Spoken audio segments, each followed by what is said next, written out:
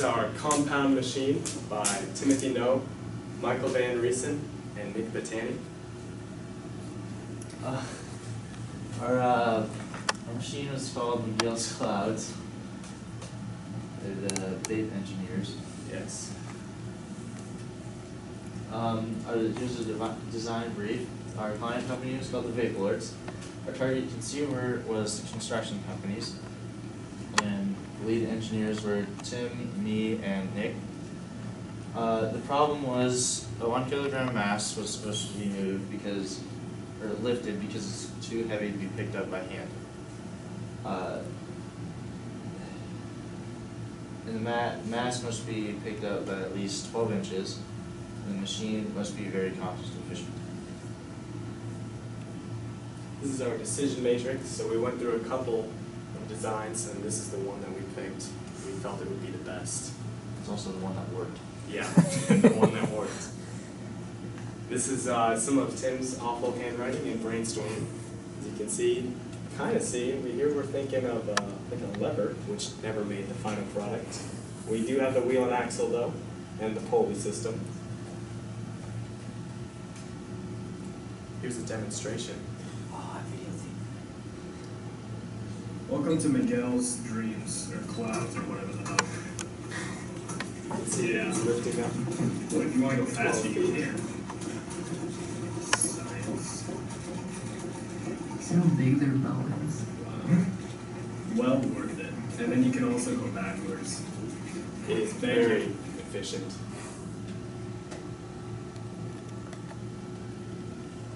So we're gonna go through each individual simple machine. So first we have a gear and chain.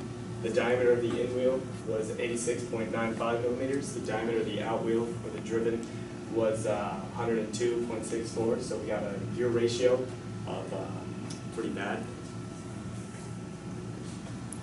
Our wheel and axle, uh, the diameter of the axle was three point three millimeters, and the diameter of the wheel was sixty-five point eight six, so we had an IMA, an ideal mechanical advantage of 0.5. For our pulleys, we have an IMA of three. And for our single little pulley down here, an IMA of one. So our combined IMA is six point two three. Our AMA, actual mechanical advantage, is uh, you know, three point one nine, but that doesn't matter, because that gives you a staggering fifty-one percent efficiency, all for the low price that should be forty thousand dollars. I waited yesterday, it was thirty-eight. We'll now take questions from the uh, consumers. What errors did you run into? Uh, well, first our machine, our first like two machines just didn't work at all, and uh, we didn't like, uh, I don't know. What, what would you, how would you describe those machines? It would not have been efficient if they had worked. Yeah, they were very bad. They involved like levers and ramps and just stuff that was unnecessary. What influenced you? What really influenced us was truly the simple machines learning taught by Mr. Hermon. And uh, I think that really inspired us to make just uh, an, you know, just such an average product, but such a great product, you know? What would you The best, do? you get the best of both worlds on this one. Yeah, you get the efficiency, but you get the nice cost. Great, more questions? Can you guys demonstrate it or Oh, yeah. like right on there? You got a mass? How easy is it to hook up and get going? It's very, you see, you just got this little loop. Oh, never mind, I guess if you don't have a loop,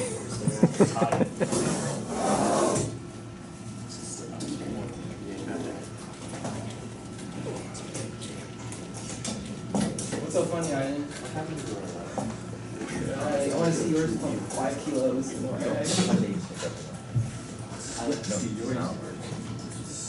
How does your machine work?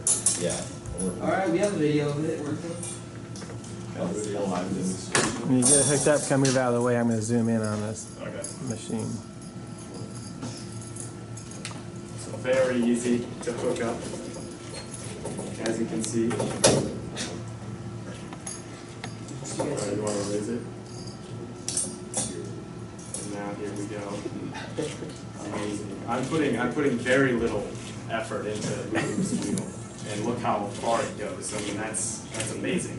What made you guys make the belt so big? It was- really kind of just a, um, just a, there was no reason. It looks cool, yeah. Yes. A Okay, nice job.